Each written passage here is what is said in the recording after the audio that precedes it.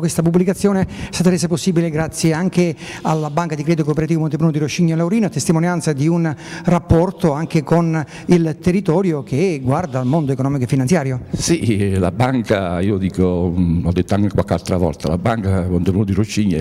possiamo dire che è una banca amica del territorio, quindi viene eh, incontra le varie esigenze, non solo quelle del credito che riguardano l'esigenza degli imprenditori o delle famiglie, ma anche nelle attività culturali. Vediamo presente in quasi in tutte le iniziative culturali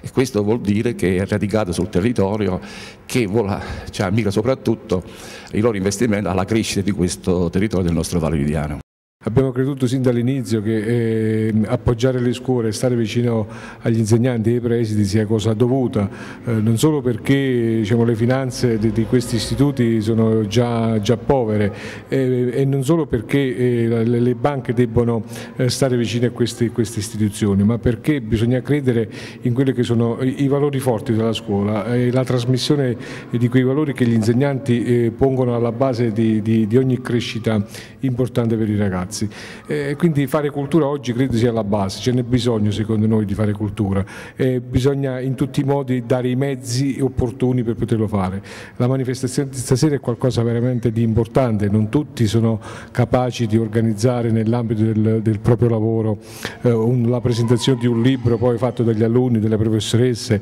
un lavoro di gruppo che dimostra come si è capaci di stare insieme e come noi ehm, insieme alla scuola abbiamo voluto certamente essere essere presenti questa sera, convinti sempre di più che dove c'è cultura non solo c'è banca ma c'è territorio, c'è vita.